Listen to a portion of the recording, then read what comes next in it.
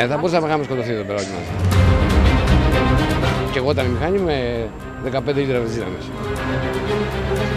Στιγμές πανικού επικράτησαν το πρωί στην καρδιά του Ρακλείου λόγω φωτιάς που ξέσπασε σε μηχανή με πυκνούς καπνούς να σκεπάζουν τη μικρή Εύαν και το κέντρο, προκαλώντας ανησυχία σε δημότε και καταστηματάρχε.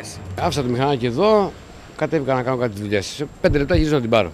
Ναι. Έβγαζε λοιπόν κάποιες ε, καπνούς, το οποίο κατέβηκα να δω τι συμβαίνει. Όταν συνειδητοποίησα ότι ο καπνός αυτός μεγάλωνε, είπα στη γυναίκα εδώ να πάρει την πυροσβεστική τηλέφωνο και φώναξα εδώ στους γειτόνους ποιος έχει.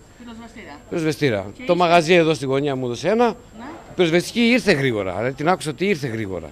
Δεν μπορούσε να περάσει γιατί ήταν εδώ αυτά που είναι στη μέση. Μα όταν τρέχεις από την πάνω ε, Evans να τρέχει με τα πόδια με δύο πυροσβεστήρες οι άνθρωποι για να σβήσουν κάτι επειδή δεν μπορούν να, να μπουν μέσα τα οχήματα.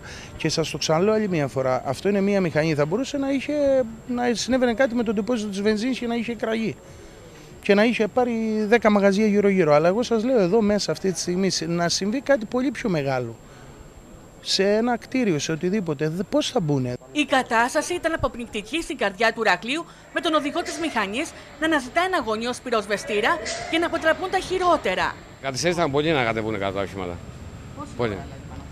Ε, η ώρα τώρα εγώ είχα το νου τώρα να δω πώς θα σβήσει. Θα σβήσει, μη, επειδή είχε γεμάτο βενζίνα μέσα το μηχανάκι, μη σκάσει καμιά ώρα και έχουμε άλλα. Θα μπορούσε, ναι. Μια στιγμή ξέσπασε φωτιά την οποία ήρθαν αμέσως κάποια παιδιά με πυροσβεστήρας.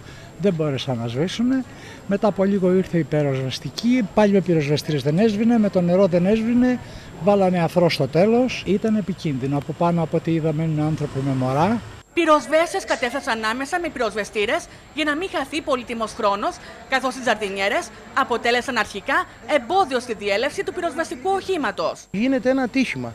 Τι θα γίνει δηλαδή, πήρε ένα μαγαζί φωτιά, πήρε κάτι, έπεσε ένας άνθρωπος, έκανε οτιδήποτε. Προχθές πέσανε με τον αέρα τζάμια από τον πέμπτο όροφο αυτού του κτηρίου. Θα σπρώχνουμε κάθε φορά ζαρντινιέρε, ε, δέκα ανθρώποι να πετάμε τις ζαρντινιέρε κάτω για να περνάει κάτι. Δεν νομίζω μετά από αυτό το περιστατικό που κάτι συνέβη να αισθάνεται κάποια ασφάλεια. Επιχειρηματίες και δημότες κρούν το καμπανάκι του κινδύνου στους αρμόδιους για τη λήψη των αναγκαίων μέτρων ώστε να αποφευθούν εφιαλτικές καταστάσεις στο κέντρο στην περίπτωση εκδήλωσης πυρκαγιών και αντιμετώπισης έκτακτων καταστάσεων.